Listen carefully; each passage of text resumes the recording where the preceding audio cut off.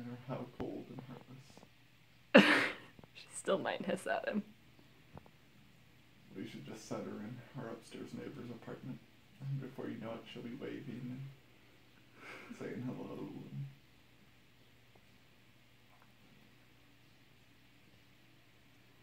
And...